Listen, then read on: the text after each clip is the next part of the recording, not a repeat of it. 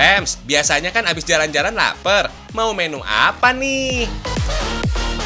Kuliner krengsengan daging tadi memang nikmat, tapi masakan berbahan utama ikan patin yang satu ini juga gak kalah lezat.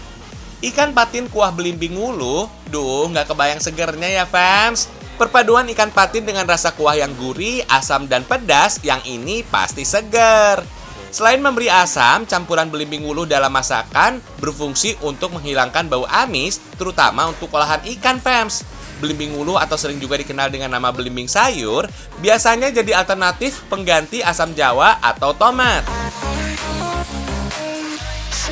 Ikan patin bisa menjadi alternatif makanan kaya nutrisi, tapi dengan harga terjangkau loh. Soalnya memiliki kandungan lemak tak jenuh yang mencapai 50% dari total keseluruhan nilai gizi yang dikandungnya fams. Lemak tak jenuh berguna memperbaiki pembuluh darah yang tersumbat, sehingga bisa terhindar dari penyakit kardiovaskular seperti jantung dan stroke fams. Pertama-tama bawang merah, bawang putih, dan kunyit dihaluskan terlebih dulu fams. Kunyit nggak cuma sekedar memberikan warna pada makanan.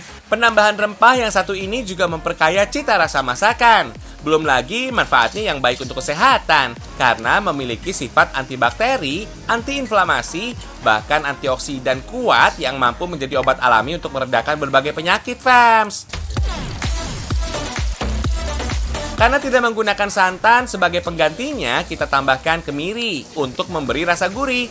Kandungan asam amino non esensial yaitu asam glutamat pada kemiri memberikan rasa nikmat layaknya MSG fams.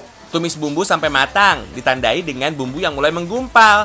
Beri air dan aduk supaya bumbu merata. Kemudian masukkan potongan ikan patinnya sebelum airnya mendidih ya fams, agar matang secara perlahan. Jangan terlalu sering diaduk atau dibolak-balik ya fams, supaya ikannya nggak hancur. Terakhir, beri potongan belimbing wuluh ya. Buah yang satu ini mengandung banyak vitamin C alami yang berguna sebagai penambah daya tahan tubuh fams. Selain sebagai bumbu masak, belimbing wulu sering dimanfaatkan untuk pembuatan sirup dan manisan. Bahkan jadi obat sariawan, sakit perut, rematik, dan masih banyak lagi manfaat lainnya. Wih, gimana fams? Tertarik buat mencobanya? Cocok loh untuk jadi menu makan siang kalian nanti. Hihihi.